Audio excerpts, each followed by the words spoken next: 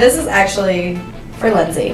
When I did a photo shoot with Misa, Jordan, and Kimi, I could tell by listening to them when they when they showed up. I had my eyes closed, I was doing my makeup, and I could tell why each one of them became rock girl.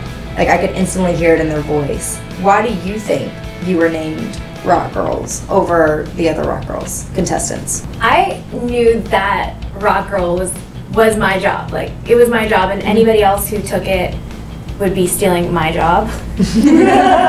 like my love of music has always been like number one, and also like I hate like a schedule, like like strict, like show up here and that every day and do the same thing every day. I like being like here, there, everywhere. So it really suited my personality.